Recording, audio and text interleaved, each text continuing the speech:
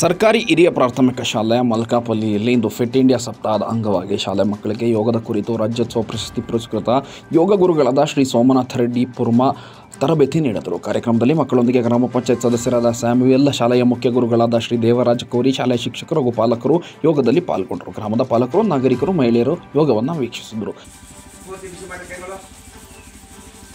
ಬಿಸಿ ಬಿಸಿ ಅಂಗೈಗಳನ್ನು ಕಣ್ಣಿಗೆ ಶಾಖ ಕೊಡ್ತಾ ಕಣ್ಣಿನ ಕಾಂತಿ ಕೂಡ ಹೆಚ್ಚಾಗುತ್ತದೆ. ಅದೇ ರೀತಿ ಬಿಸಿ ಅಂಗೈಗಳನ್ನು ಕೆನ್ನೆ ಮೇಲೆ ಸ್ವಲ್ಪ